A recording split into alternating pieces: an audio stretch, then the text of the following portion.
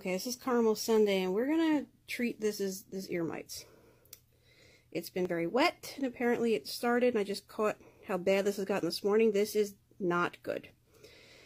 So step one is I'm going to put some olive oil in here and very carefully get these crusties out. And step two is he's going to get a couple drops of Ivermectin. Now, this, I've coated this good with, with just regular olive oil. Ooh, it's okay. I know, that's bright. It's okay. And then we're going to just very gently massage the base of the ear. See, we already have goop coming out. So I'm just going to let that set for a little bit. Make sure it's in there real good. And we're just going to very gently massage the base of the ear and then very slowly start to scrape that out with some paper towel. And I went ahead and I got that in both ears. So I might have to go grab some uh, cotton, cotton swabs in a minute.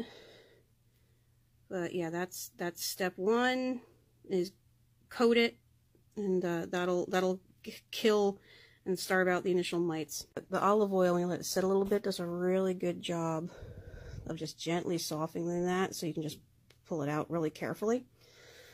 So I'm going to go ahead and very carefully get this stuff out as it softens. Don't force it, don't scrape it, or you'll hurt the rabbit.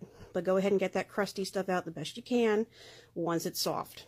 Stuff that's really deep in there, what I actually did was I just added more olive oil and then I'm like slowly massaging the base and letting it soak in. You see it's pushing it up. Poured more olive oil in there. You see it's like up to the top. And so down here we're just going to very gently massage the base of the ear and you can see that that gunk is coming. This came out of that one ear. Very gently just kind of massaging it out. You know, he's covered in a lot of oil, but see how much cleaner that is.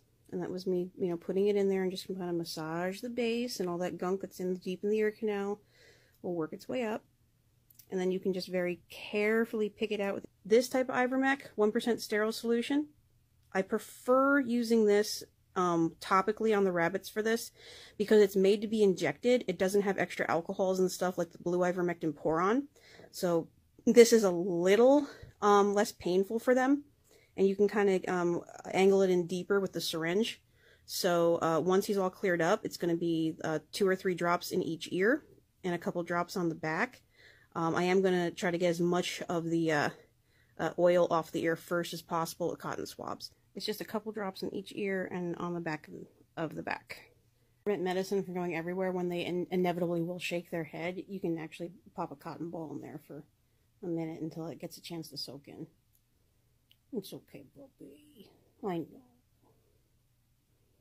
Alright, and then we're to give him a minute just to check him over, make sure that all the all the medicine's where it needs to be, get him cleaned up a little bit more, and then pop him back outside. Just to follow up, he's still he's still got some oil on here, but um, just to check to see how that ear's doing a day or so later. Easy, baby. There. You see, that's a ton clearer. I got a little bit of scabies around the edge. I might give that a day or two to kind of kind of heal.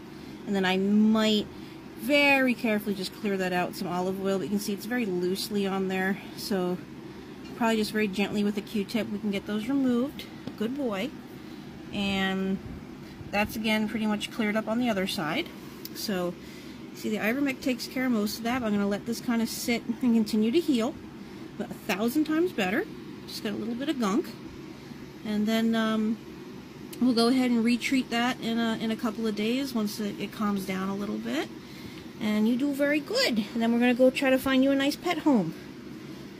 But we want to make sure that you're completely clear first. Okay? You're such a good boy, Carmel Sundae.